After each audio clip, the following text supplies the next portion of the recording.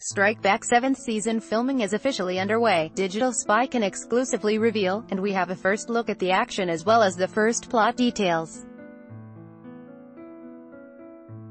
The cast of the Sky One show also has a few new additions, including Battlestar Galactica's Jamie Bamber as veteran new commanding officer Colonel Alexander Coltrane. He will lead returning cast members Warren Brown, Thomas, Mac McAllister, Daniel MacPherson, Samuel Wyatt, and Alin Sumarwata. Gracie Novin. advertisement. Continue reading below Check out the first promo image below. The new episodes will see Section 20 investigate the crash of a Russian jet in the South China Sea. While doing this, they find themselves working alongside and coming into conflict with rogue Russian operative Katrina Zarkova, Yasmin Allen, who is on the same trail as them but is not all she appears to be. During the season, Section 20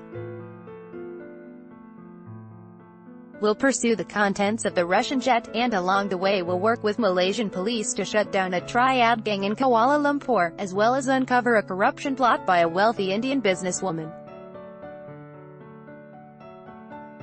Filming for the 10-part 7th season has already begun in Malaysia.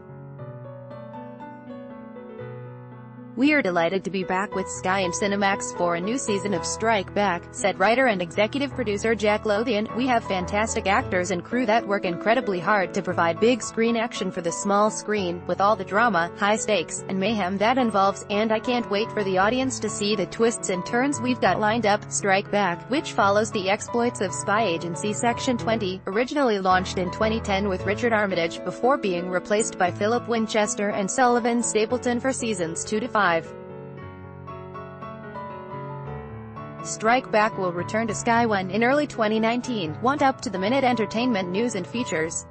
Just hit like on our Digital Spy Facebook page and follow on our Digital Spy Twitter account and you're all set.